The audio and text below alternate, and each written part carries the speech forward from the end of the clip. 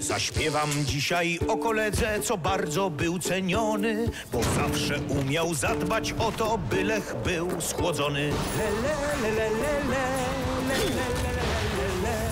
Nie obawiał się wysiłku, nocy ani chłodu, dla przyjaciół był gotowy zdobyć troszkę lodu.